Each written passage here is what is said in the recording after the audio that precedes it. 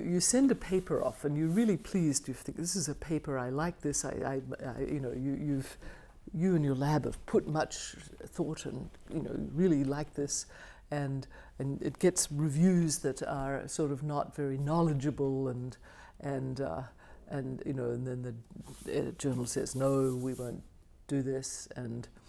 Uh, we won't publish this or something, and you know, so so uh, I find that quite hard, and so um, so uh, and I've noticed it falls into a sort of pattern now with me, which is that uh, first of all, I'm really wild with well, rage, right? And the people in my lab are really upset and you know sort of disappointed, right? So we sort of go through that, you know, and you know that there's no point in even planning anything at that point. you just sort of had this, it's a whole sort of rage against how stupid the reviewers were, right? right? and then sort of, and then, but, but I'll tell you what you, you learn from this. So first of all, you, you always learn that you could have described something more clearly. Right? No matter how many people you gave it to to read, there's always some reviewer who didn't understand it, and you realize you better explain it better.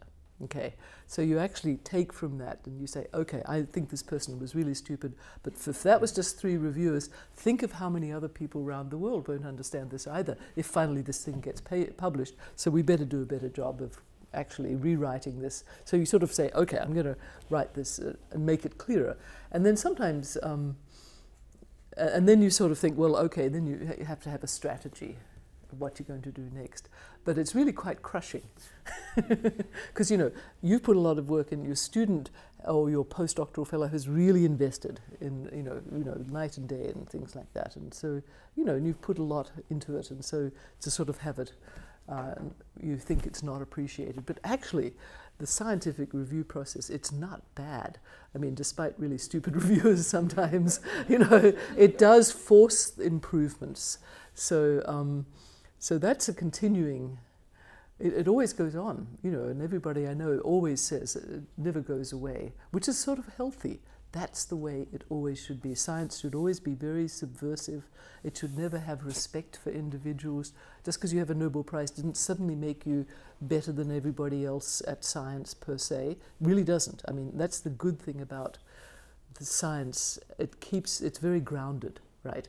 People remain very critical and that's healthy, right? Because think of what happens when people get treated like they're God, you know, and you know, like oh, they know everything. It's it's not healthy. It's it's not good. So infuriating though it is, it's also uh, it's it's quite good.